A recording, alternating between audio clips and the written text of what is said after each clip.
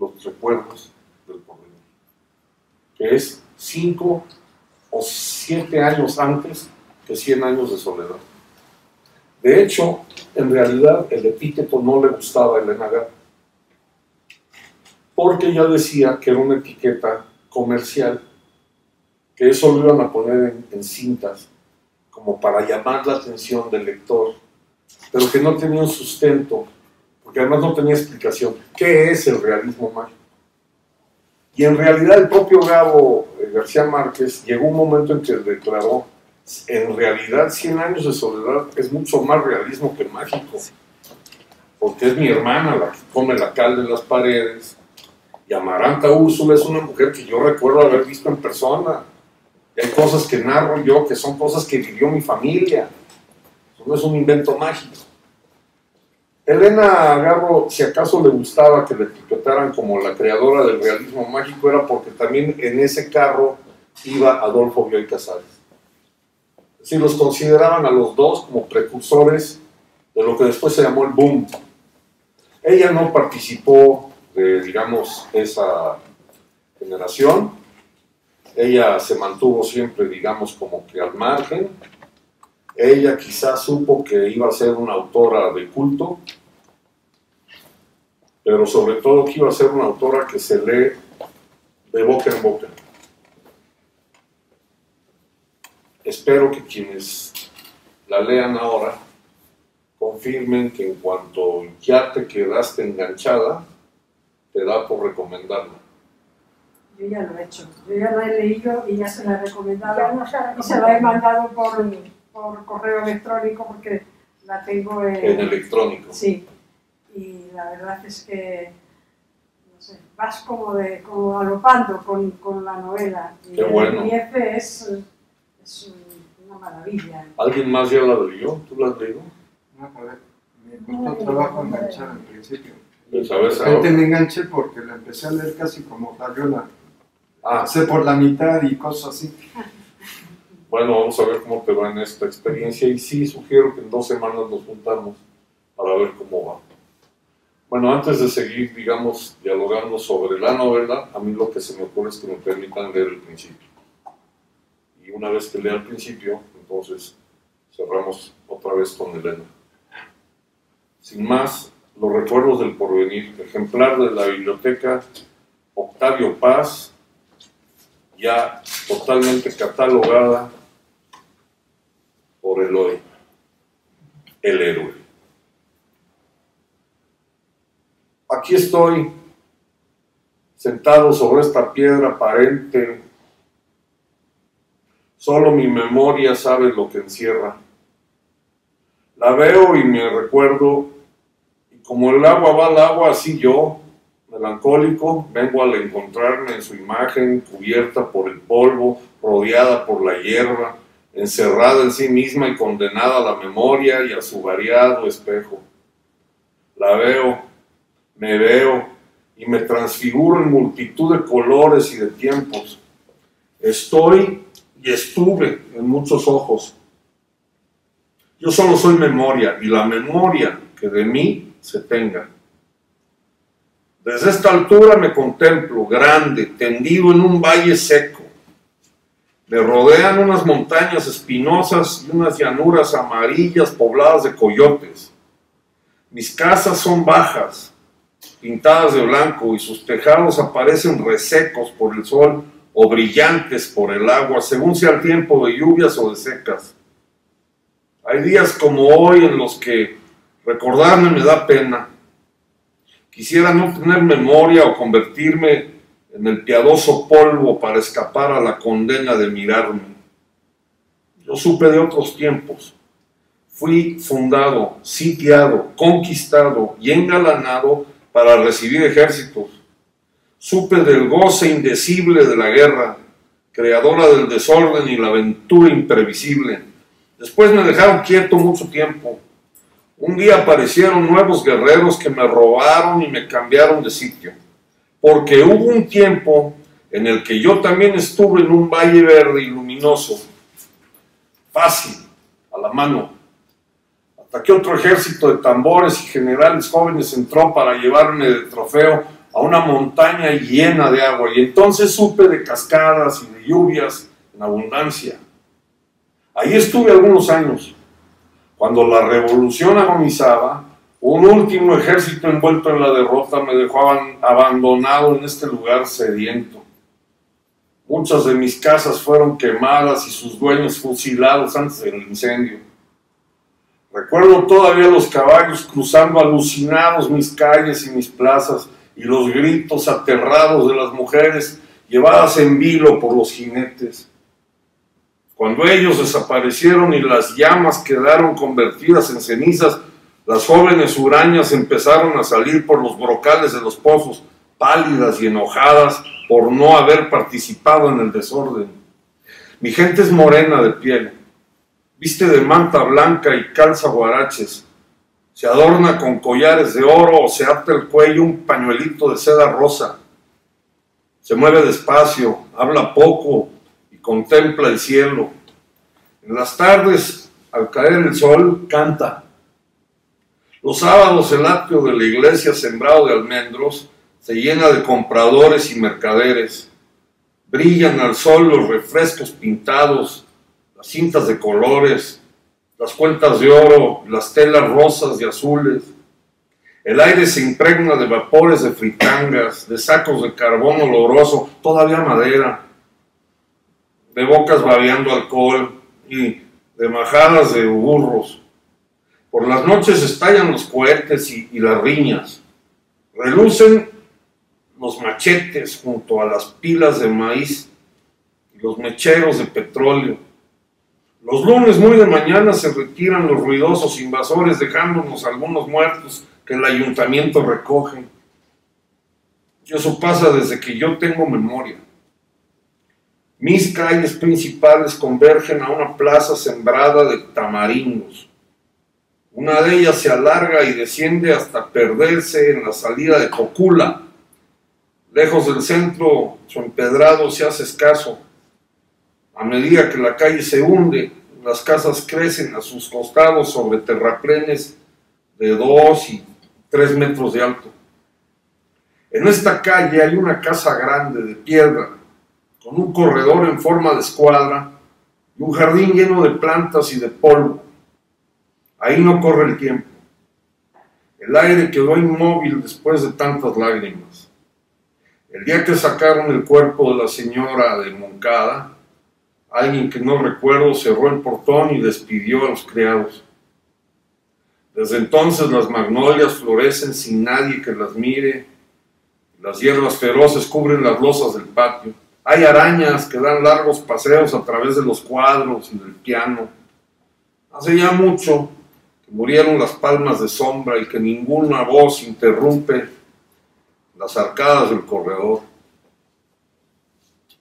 Los murciélagos anidan en las guirnaldas doradas de los espejos y Roma y Cartago, frente a frente, siguen cargadas de frutos que se caen de maduros. Solo olvido y silencio. Y sin embargo en la memoria hay un jardín iluminado por el sol, radiante de pájaros, poblado de carreras y de gritos, una cocina humeante y tendida a la sombra morada de las jacarandas, una mesa en la que desayunan los criados de, las, de los Moncada, el grito atraviesa la mañana. Te sembraré de sal. Yo, en lugar de la señora, mandaría tirar esos árboles, opina Félix, el más viejo de los servidumbre. Nicolás Moncada, de pie en la rama más alta de Roma, observa a su hermana Isabel ahorcajadas en una horqueta de Cartago, que se contempla las manos. La niña sabe que a Roma se le vence con silencio degollaré a tus hijos. En Cartago hay trozos de cielo que se cuelan a través de la enramada. Nicolás baja del árbol, se dirige a la cocina en busca de un hacha y vuelve corriendo al pie del árbol de su hermana. Isabel contempla la escena desde lo alto y se descuelga sin prisa de rama en rama hasta llegar al suelo. Luego mira con fijeza a Nicolás y este sin saber qué hacer se queda con el arma en la mano. Juan, el más chico de los tres hermanos, rompe a llorar. Nico, bola de bueyes. Isabel se aparta despacio, cruza el jardín y desaparece. Mamá, ¿has visto a Isabel? déjala, es muy mala, desapareció, tiene poderes, está escondida, tonto. No, mamá, tiene poderes, repite Nicolás. Ya sé que todo esto es anterior al general Francisco Rosas y al hecho que me entristece ahora delante de esta piedra aparente.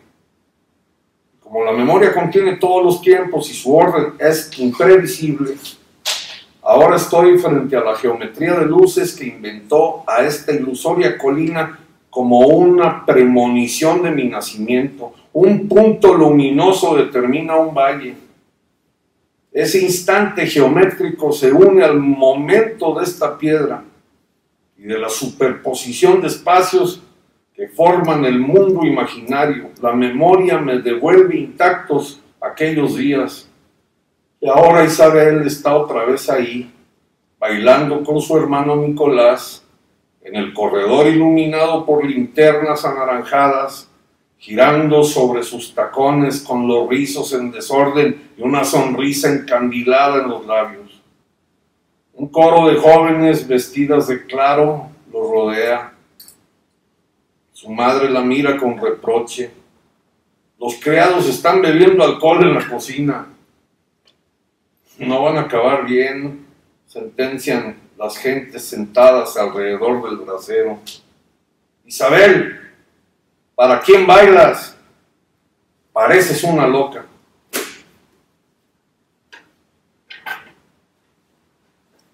Esa es la manera de empezar una novela. Yo no me imagino la adrenalina que ha de haber sentido esta mujer para llevar desde el principio el truco de quien habla es el pueblo. Es la memoria de un lugar, pero un lugar que también se puede mover en el, se puede mover del lugar, para empezar, y por lo visto se mueve en el tiempo porque lo que te queda claro es que al describir la casa abandonada, va a entrar a describir las voces que en algún momento habitaron esa casa. Yo por lo menos creo que es un gran gancho para quien no tiene ni idea de a dónde va con el título, porque el título es un oxímoron. Se supone que no podemos recordar lo que está por venir. Esta mujer lo logró, empezamos la aventura, donde empieza la segunda parte, porque estamos a la mitad. Después volví al silencio. ¿Quién iba a nombrar a Julia Andrade o a Felipe Hurtado? Su desaparición nos dejó sin palabras y apenas si nos dábamos los buenos días. Nos faltaba Julia. Las serenatas se volvieron muy oscuras sin el resplandor de sus trajes. Sus collares de oro no iluminaron más a los árboles de la plaza. A su caballo cascabel el general le dio de tiros y nada más quedó, y nada más nos quedó de su hermosura. Qué vida, mejor se acabara. Caminábamos los días que ya no eran nuestros. Había que olvidar también a Felipe Hurtado, borrar la huella de su paso por Ixtepec. Solo así nos evitaríamos mayores males. Ese hombre era un mago, se decía don Pepe Ocampo, y receloso sacaba su silla a los portales la recargaba contra la pared y sentado veía pasar la tarde y sus paseantes. Estaba enojado.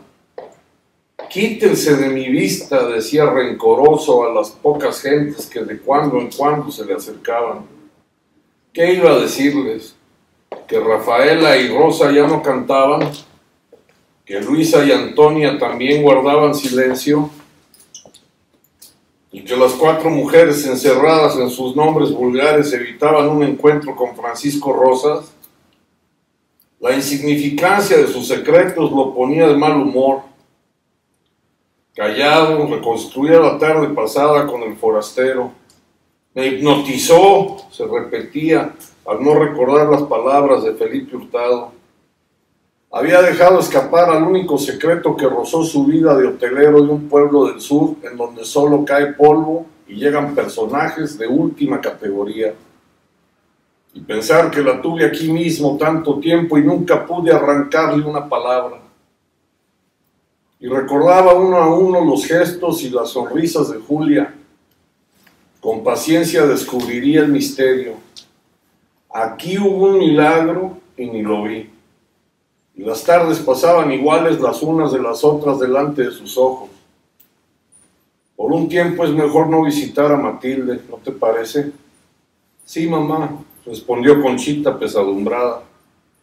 Extrañaba el pabellón y el corredor de doña Matilde. El teatro y las pláticas habían terminado, nunca se repetirían aquellas noches. La voluntad del general Francisco Rosas era que Conchita estuviera triste les va a caer una desgracia. Ni creas que Rosas les perdone lo de hurtado. Doña Elvira vaticinaba al oscurecer, asomada a su ventana y mirando con nostalgia las persianas cerradas de los Meléndez. Doña Matilde clausuró el pabellón y ella y su marido se encerraron en su casa. Solo su hermano Martín venía a visitarla. Se decía que don Joaquín estaba muy enfermo, pero nadie se acercaba a informarse de su salud. Sus sobrinos guardaban, guardaron los trajes de teatro sin terminar y una mañana se fueron a Tetela sin decir adiós a nadie. Pasó mucho tiempo antes de que Nicolás y Juan volvieran a Xtepec. Francisco Rosas vagaba sin rumbo por el pueblo los amaneceres lo veían volver borracho y los vecinos lo oían arrastrar sus botas sobre el empedrado de mis calles. El general solo quedaban sus pasos tambaleantes estrellándose contra sus días. Por las mañanas, las criadas comentaban, lo oyeron anoche, iba a casa de las Cuscas. La Luchi tenía, temía su presencia. Llegaba sombrío y sin la compañía de sus amigos, se dejaba caer en una silla y con un vaso de coñac en la mano esperaba que avanzara la noche. Le daba miedo volver al cuarto del Hotel Jardín en donde encontraba el eco de la voz y la huella del cuerpo de Julia. Cualquier palabra que aludiera a algo sucedido antes de Felipe Hurtado le ponía en guardia y de un puñetazo hacía saltar las mesas y las copas. La presencia del señor presidente lo incomodaba.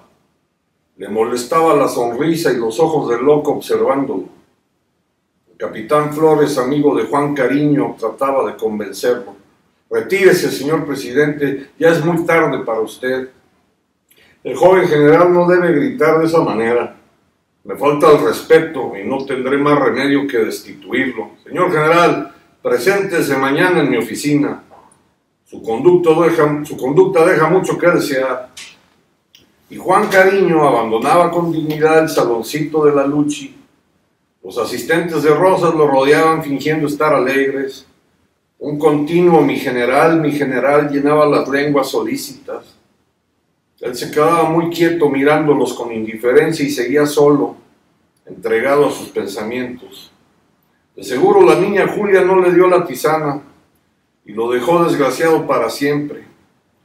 Ojalá que no acabe como Juan Urquizo, repetía Gregoria cada vez que se cruzaba con Rosas en los patios del Hotel Jardín y recordaba la noche en que curó a Julia y lo vio llorar atribulado.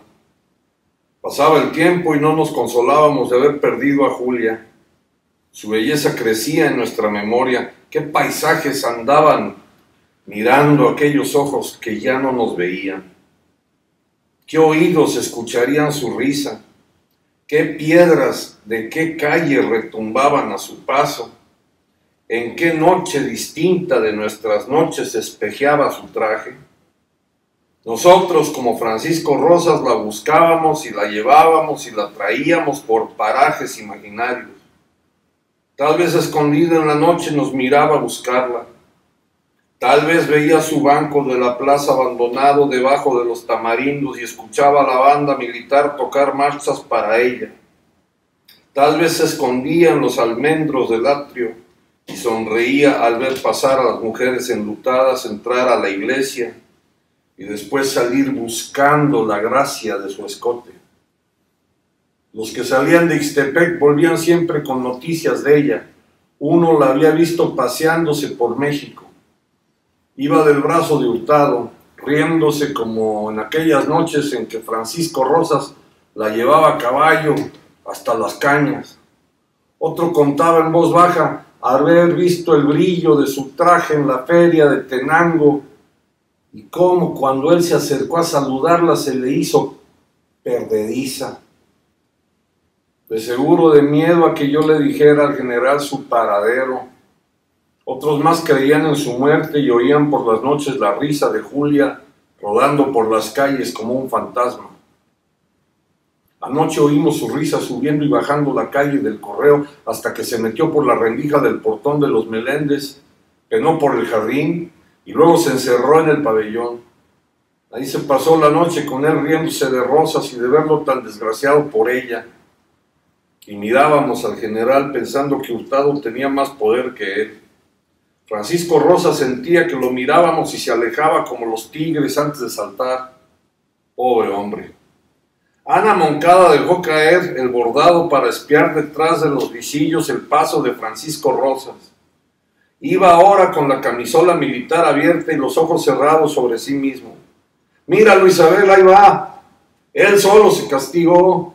La joven se acercó al balcón y por encima del hombro de su madre vio la figura alta del general, inmóvil en su desdicha, andando calles para ir a la cantina a emborracharse. Pobrecito. Isabel volvió a ocupar su silla y clavó ferozmente la vista en el rostro impasible de su madre. Ya sé lo que piensas, que es justo que expíe su pecado.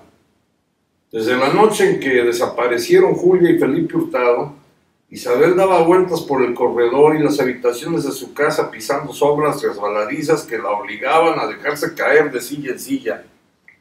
No quería visitar a sus tíos, Temía encontrarse con la invisible presencia del forastero flotando en el jardín. Tampoco quería ver el pabellón en donde el escenario envejecía con rapidez.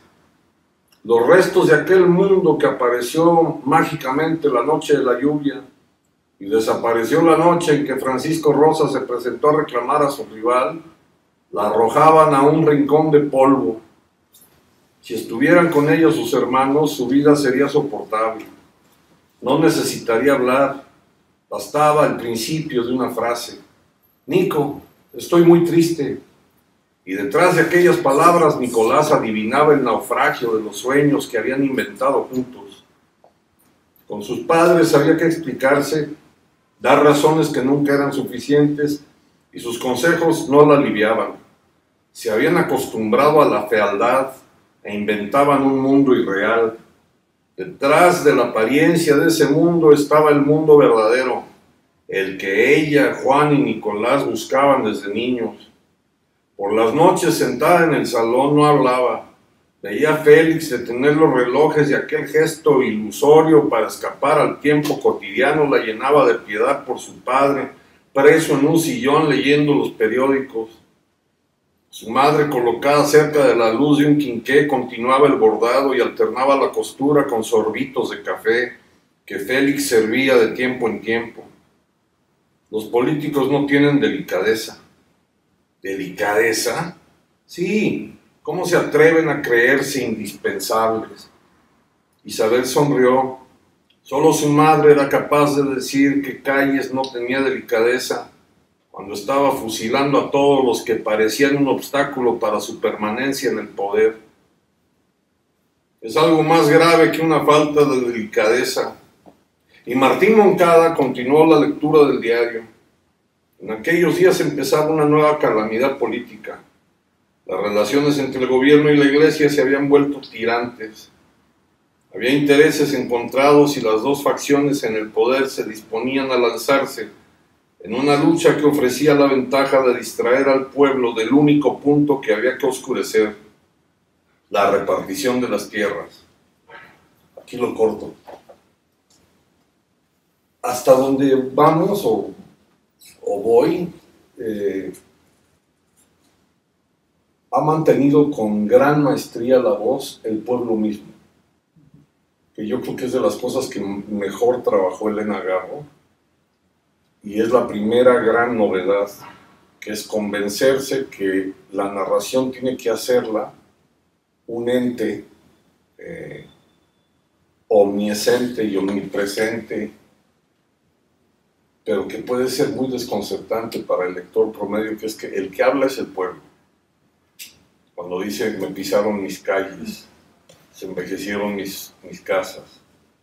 Luego, en segundo lugar, eh, corté justo donde hace una alusión algo que me llama particularmente la atención, que es la historia con mayúscula, o sea, mencionar al presidente Calles y hacer alusión al conflicto religioso, es el gran telón que está ahí, atrás de la novela.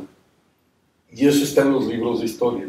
Entonces no tienes por qué ponerte a explicar, como en las aburridísimas clases de historia, las minucias de fechas, decretos, batallas y dimes y diretes.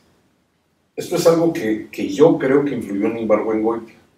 Sí, Ibargüengoitia con las novelas históricas lo que hace es apelar a tu inteligencia y decirte, yo no te voy a narrar la independencia como lo narran los libros de historia, porque ya te sabes ese rollo.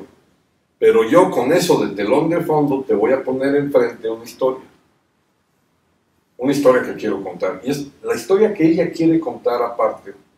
Tiene eh, un vaivén que me parece delicioso, que es, está narrando el pueblo y luego toman la voz los personajes. Entonces es como en el cine, como si hubiera una voz en off y de pronto se corta esa voz o se corta la música de fondo y hablan los personajes este, eh, ya en primer plano. No sé si, no sé si, si se capta en este juego que hace a partir de la segunda parte, ya con mayor, creo que con mayor elegancia que en la primera parte. Los recuerdos del porvenir, sol se levantó con fuerza y el campo se llenó de cantos de cigarras y zumbidos de víboras. Ya tarde, después de enterrar a los fusilados, los soldados regresaron al pueblo. En el camino hallaron a las dos mujeres sentadas en las piedras y al reconocer a Isabel se alejaron de prisa. Gregoria fue en su busca. Quería saber lo que había sucedido en el cementerio. Volvió con Isabel y la joven le produjo miedo. Se veía muy extraña, vestida con su traje de baile rojo, sentada en la mitad del campo. No se atrevió a decirle lo que le habían contado los soldados. La miró largo rato. ¿En qué pensaba esa última invitada de la fiesta de Ixtepec, cubierta de sedas rojas?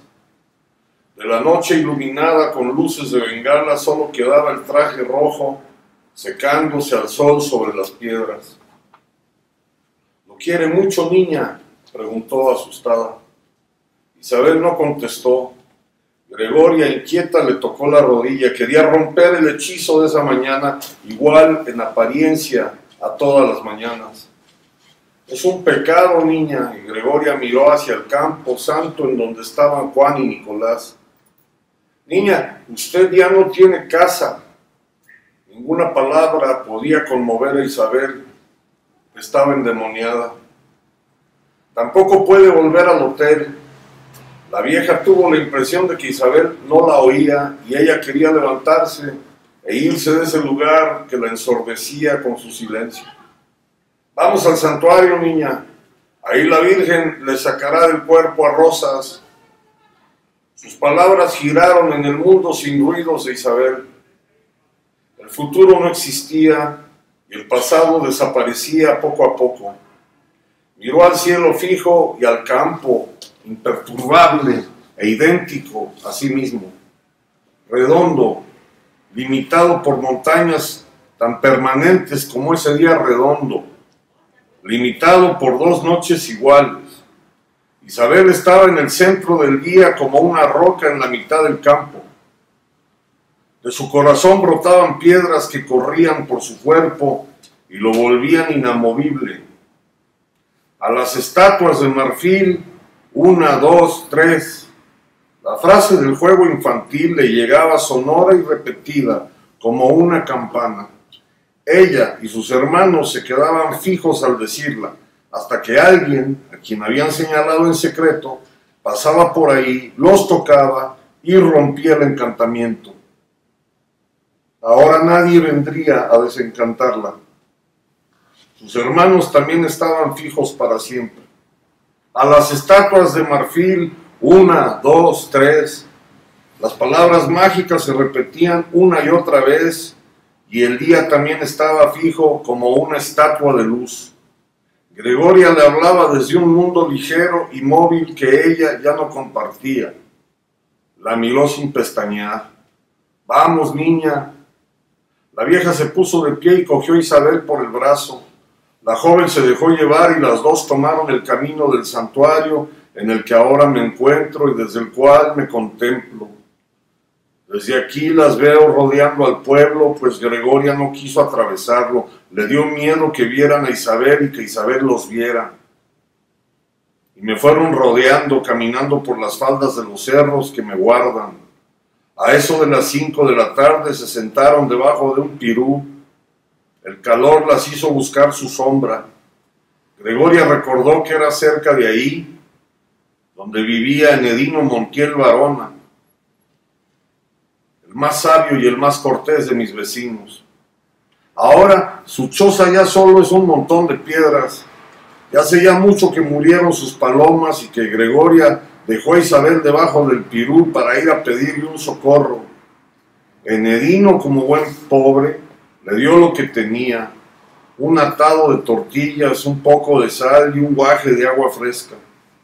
Isabel bebió el agua y Gregoria roció de sal las tortillas y las comió con sabiduría. A esas horas nadie había preguntado por ellas. En Ixtepec el día pasaba agobiado de desdichas cada uno se inclinaba sobre sí mismo, esperando el final de aquellas horas que parecían no querer irse de mis esquinas. ¿Y la Virgen podrá borrar esta mañana? Con el favor de Dios, pero no hay que pensar ni una vez en Francisco Rosas, niña. Hay que ir con el pensamiento ocupado en la Virgen y cuando lleguemos a sus pies, ella se acordará de nosotros y al bajar la cuesta, ese hombre se habrá ido para siempre de sus pensamientos. Ahí lo sujetará la Virgen con sus propias manos. Isabel la escuchó con atención y observó cómo masticaba su tortilla. El nombre de Rosas le era apenas familiar. Su pasado huía de su memoria. Solo quedaba esa mañana, formada por coincidencias asombrosas, y reducida a Gregoria comiendo su tortilla. Se levantaron y continuaron su camino. Como a las siete de la noche, las dos venían subiendo la cuesta que ahora miro. Gregoria rezaba en voz muy alta y de pronto sus palabras tomaron formas de conos azules, lagartijas sonrientes y pedazos enormes de papel que bailaron frente a los ojos de Isabel. Mató a Nicolás, me engañó, Rosas me engañó, Dijo Gregoria que la niña Isabel se volvió a mirarla con ojos espantados. Llevaba sangre en las rodillas, el traje rojo desgarrado y polvo gris en los rizos. El sol se estaba hundiendo y su último resplandor naranja sacó reflejos sombríos a la seda roja. La joven se puso de pie y echó a correr cuesta abajo. Aunque Dios me condene, quiero ver a Francisco Rosas otra vez. Su voz sacudió la colina y llegó hasta las puertas de Ixtepec. De sus ojos salieron rayos y una tempestad de rizos negros le cubrió el cuerpo y se levantó un remolino de polvo que volvió invisible la mata de pelo. En su carrera para encontrar a su amante Isabel Moncada se perdió. Después de mucho buscarla, Gregoria la halló tirada muy abajo, convertida en una piedra y aterrada se santiguó. Algo le decía que la niña Isabel no quería salvarse. Estaba muy sembrada en el general Francisco Rojas. Rosas. Gregoria se acercó a la piedra maldita y se dirigió a Dios pidiéndole misericordia.